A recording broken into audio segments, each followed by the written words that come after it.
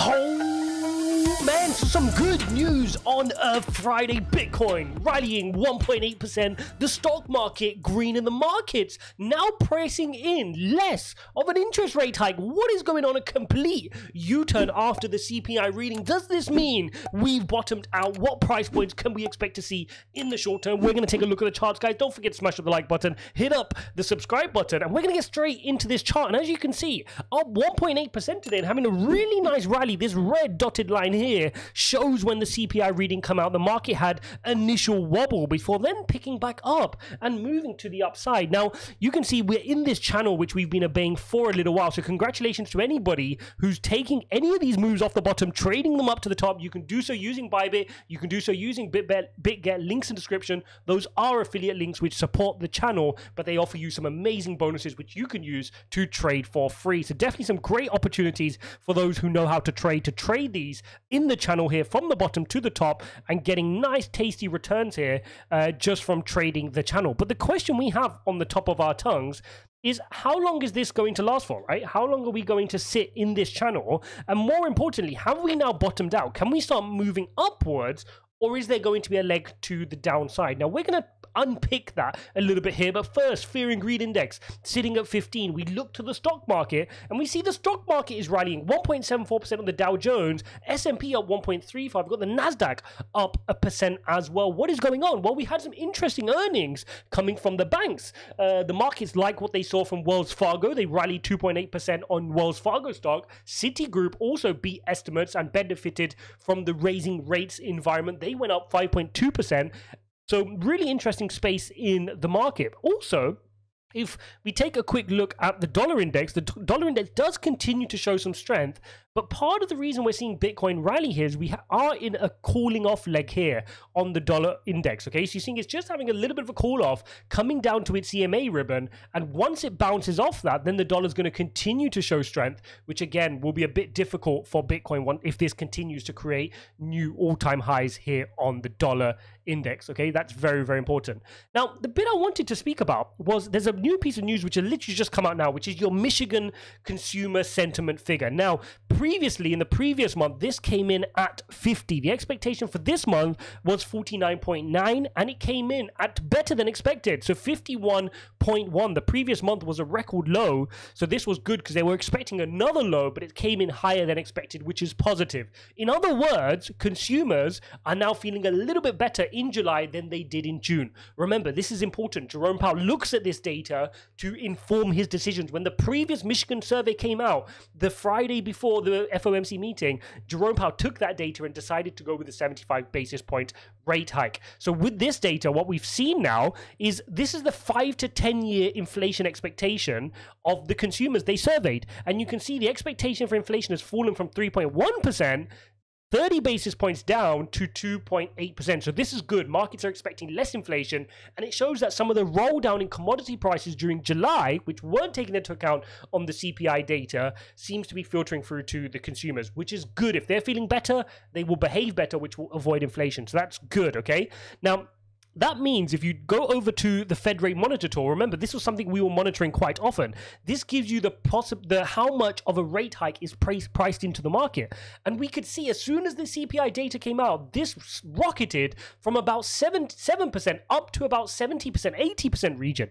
Now it's cooled back down again. So basically, the market now majoritively thinks there's going to be a seventy five basis point hike, and only forty percent thinks there's going to be a full one percent. Okay, so sixty percent believe seventy five basis points and 40% believe there'll be a one basis, one full percentage point increase in the interest rates. Also worthy of note, um, Fed officials also came out over the last 24, 36 hours. We had Chris Waller, we had Bullard. They are both hawks. In other words, normally they would come out and say, yeah, we want more rate hikes. They actually came out and said we favored 75 basis points. So the market was getting carried away. It was trying to price in a full 100 basis points, but the market, um, the Fed officials came out and said, no, 75 basis points should be just fine. So that's helping the market cool off. They're unpricing that in in the form of a rally, and that is why we're seeing the market rally. But I've got a warning for all of you guys. I have to share this. I can't just say to you, oh, look, it's all happy dory. We've created a bottom and we're moving to the top. That's not how things work, guys. And if you want to see my in depth on chain metrics,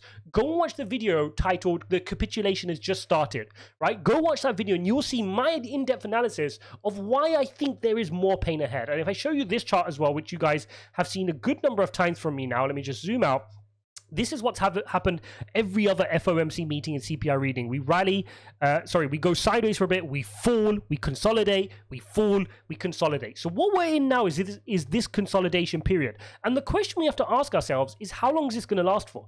Is this just a relief rally, giving us a couple of green candles up to here before falling down? That's what we have to be wary of.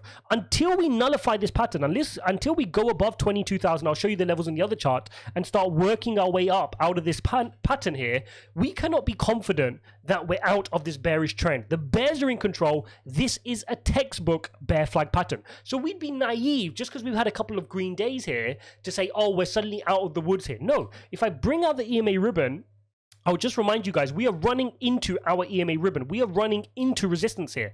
So until we flip this EMA ribbon, we start working our way to 24,000, 25,000, we're not out of the woods here. So I wouldn't get excited that this floor has been created. There's no evidence either from on-chain or even the technicals to suggest that's happened just yet. Yes, we've got a good day in the market. Yes, the market got excited and priced in 100 basis points and now has unwound that. But we, we can't see from the chart here that we're bullish just yet. And anybody who's telling you that is completely misinformed. You need to be careful which moon boys you're listening to. If they can't explain to you, as I've explained to you, what's happening in the wider economy, what's happening with inflation, what's happening with Michigan sentiment, what's happening with the Fed officials, then you need to question who are you listening to, who are you getting your data from? Because if they're just showing you a chart pattern and nothing else, well, any any kid can do that, right? They can show you a chart pattern and nothing else. You guys pretty much can figure that out. So that is what we need to look out for is we need to watch out for this bear flag to break to the downside okay? If we break to the upside start nullifying this then we can talk. Then we can say okay this is good because we've not done that the previous times. Every other time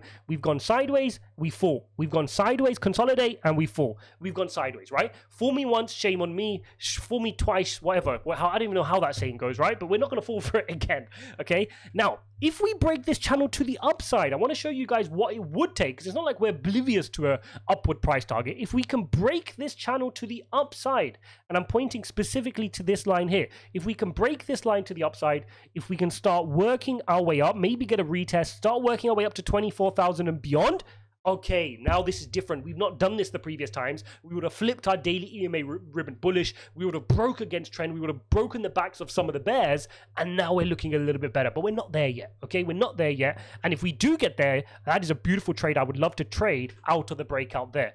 Otherwise, when we get here, more likely than not, you're getting sent back down to the channel. So if we break, we see a confirmation, then you can go long. If not, it looks like you're going short here, back down to the bottom of the channel. And the fear would be once you get to the bottom of the channel, what happens when we break down? Will we be seeing those 17,600 levels again at the lows? Will we, will we be seeing lower targets at 16,000 or 15,000 as some of the on-chain metrics suggested, which I shared with you in other videos. So a lot going on here on Bitcoin. We've got to stay cautious, but at the same time, we've got to keep an eye out for the bullish momentum, right? We can't be oblivious to the fact that if we break out of this channel and start working our way up, we it can move quickly. We know that with crypto. Look how quickly we fell here to the downside. That is why I'm, I'm looking for the break of this trend to say, okay, can we trade that up to the top side back to 30k? Because that can happen explosively, but we have got caught out before, right? Look at that fake out there.